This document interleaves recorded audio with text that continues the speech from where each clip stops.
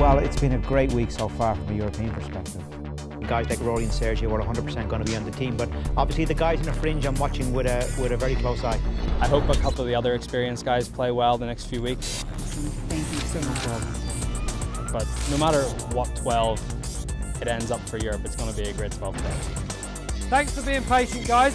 You all had a good day. When that shirt goes on every day, you feel very honoured to be part of a team that has been victorious for so many years, and you feel your duty is there to go out and perform well.